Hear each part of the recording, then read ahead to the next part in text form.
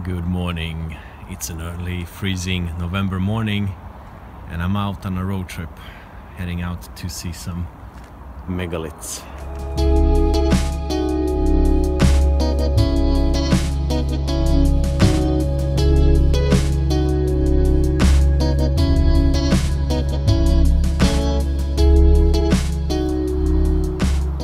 Okay, so I stopped to have rest and just see the sun come up and watch the mist over the land here which I've been watching while I was driving. It's so beautiful. And actually there's a megalithic site over there and over there. And I visited those and I'll leave the link below the video. I don't have time to revisit them. You know the days are short and things take more time than you think so let's enter this church that I've been thinking about ever since my last visit. It's a beautiful spot for just soaking in, you know, the vibes and oh, here's Christ.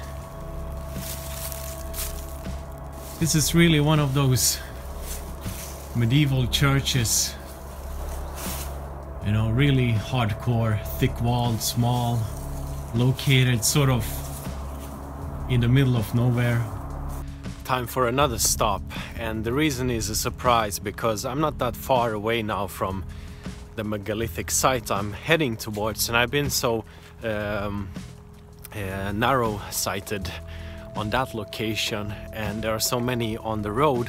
And one of them is the monastery in Varnhem, which I've seen on photographs, and I've thought about coming here too. So I just didn't um, realize or look closely enough to see that it's just on my way to the megalithic site. So here's this place. Have a look. Here's some quick facts about this church and abbey ruins. The abbey that used to be here was founded by the same Cistercian order that founded the abbey in Alvastra in the 12th century. Check out my video from that abbey ruin in Alvastra in the video description. In less than 100 of years, the abbey burned down and was totally ruined. But it was rebuilt and made even more grandiose than before. All was well until the Danes plundered and burned it down during the Northern Seven Years' War between 1563 and 1570. The abbey church was rebuilt and restored during the 17th century and its final restoration was in the 1920s. The abbey itself was left to fall apart to its current shape.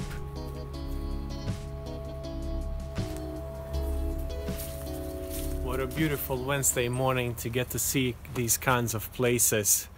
Uh, I was just planning to see one, but I've seen already enough for one day and there's more to come. So I'm grateful grateful for uh, this uh, very chilly November morning, but I haven't seen a cloud in the sky, so hey, let's take care of this day wonderful. There's a certain kind of vibe. You see, the sun doesn't come up that high right now. There's this sort of ch uh, coldness, chilliness to the place, and there's still autumn colors, but they have almost all just gone away. Really, like some sort of final um, stroke on the year, you know, like the year is ending.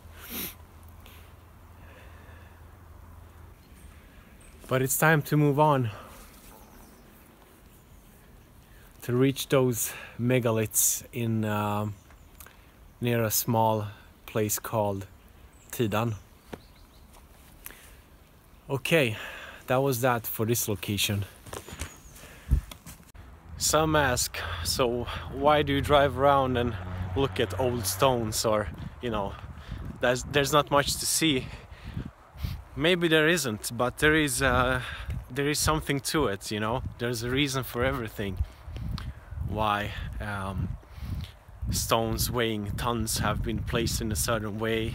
There's a certain uh, reason some ruins are located on some locations like churches which have been built on older uh, more ancient places of worship. Back in the days where people um, really had the tentacles to pick out a good spot in nature and uh, you know uh, just like our earth has a variation in gravity and um, water mass. Uh, I mean check that out. There are good explanations on that. Uh, even various uh, locations on a more uh, local or um, micro level have variations of I'm going to use the word sort of energy but just a certain vibe you know?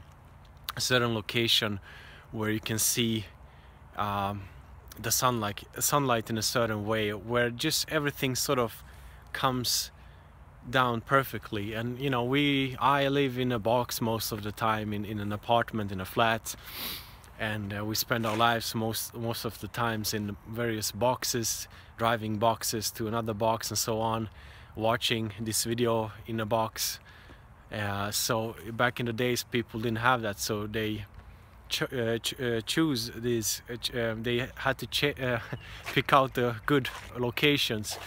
And they are you know like old roads are always built on top of older roads which eventually became the uh, modern roads the same way places have been you know um, yeah, I mean, just the Vatican you know the the Catholic main place there is built on top of something more older. So uh, just by driving out and um, you know being out in the nature in the fresh air seeing the landscape get getting familiar with the you know the country the region you live in uh, there's some beauty and satisfaction in that. And also at, at some level uh, one reconnects to something um, within oneself. And I, I'm not gonna waste time talking about it but that's sort of the reason why I do this basically because it might seem like a weird thing to do and not many people do that. But you know when you're in a in a southern Europe where you have so many beautiful old architectural uh, sites and places. I mean, I'm not there right now, so I, I take what I have here. And uh, even though Sweden is much more vast and uh, scarce, sort of like there's much more distance to it, there are still uh, the same kind of um, uh, places. Not the same, but you know, their intention was sort of the same. And I guess my intention is sort of similar while visiting them and so on. And being out to such a place with with one's family is better. I mean it's great but today it was a bit a bit uh, unsuitable. So i'm here on my own and sort of getting it done. All right let's move on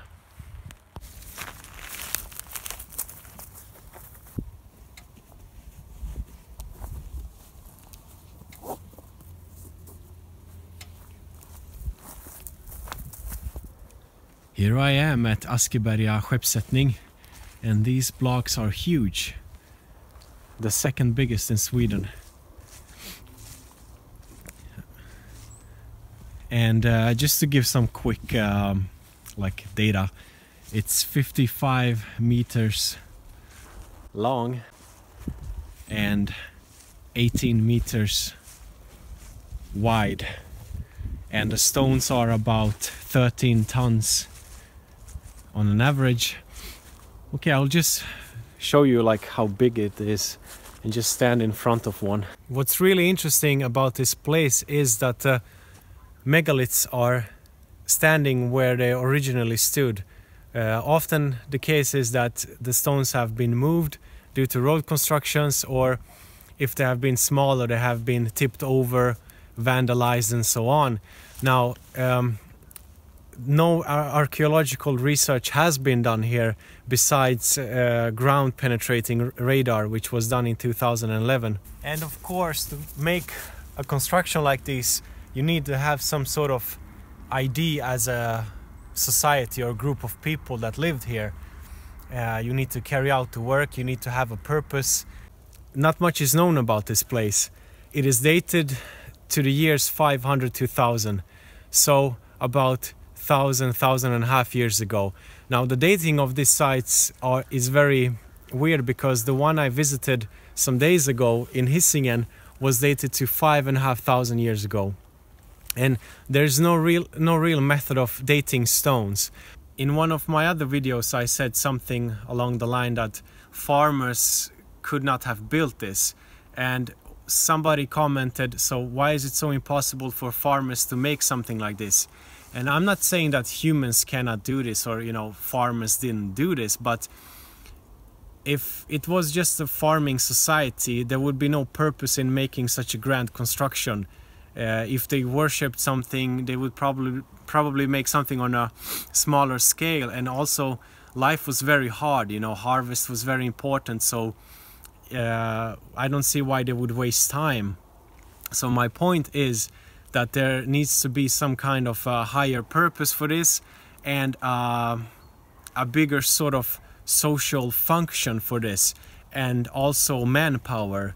Now, of course, people might have used uh, the, the space here in between the stones, uh, the megaliths, I mean, to bury people, to have some rituals in some other uh, locations, you know, they fi find some traces of of some, uh, you know, uh, tree tools or uh, leather, I don't know, and then they sort of guess the site to be from that date. But this can be much much older than it really is. In the Viking Age, 500 to 1000, I suspect also this wasn't built by ordinary people. Vikings were mostly farmers and struggled in life. The reason Vikings, you know, those people left uh, Scandinavia was because, uh, you know, everything was scarce. If um, a father had three sons, like one would get the um, the farming area or something, and the two other sons would have to leave and you know make for their own future. So that's why they eventually became so uh, good at building ships and you know exploring the world and uh, doing all that stuff it was out of necessity so that in itself tells me that you know farmers wouldn't waste time on this. So my theory is this is much older. How it was constructed i don't know. There's a kind of a quarry here. Not a quarry but a um, piece of um, like a bedrock that's coming out from the ground. And um, they might have taken stones from there, broken up stones, who knows. So that's why I said that uh, farmers didn't do this. It's not that you know the people in themselves couldn't do this, but the purpose, the the the energy, the resources wasn't there to waste on something like this. In the meantime, while I've been out driving and heading towards this place, I got new orders from my headquarters, my woman. So uh, we have been planning to get one of those uh, uh, double seat strollers.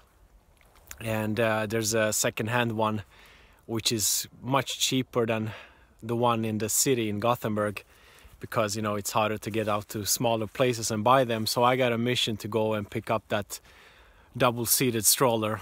You know, so it, it's a packed day. I had fun and uh, I also gonna do some uh, useful stuff. So uh, we're gonna be able to drive around in a comfortable double-seated stroller. Yeah, that's family life. I'm telling you, it's the same day. Um, the skies have changed and there's a beautiful mist on the, this lake now. It will get dark in about 40 minutes I'm heading home to hot food and family and both missions are accomplished. The new stroller is in the back apparently it's a good one because you can uh, flex it out to the side and have two seats or one seat depending on how many kids you take out. Thank you for watching. Have a great day. All the best.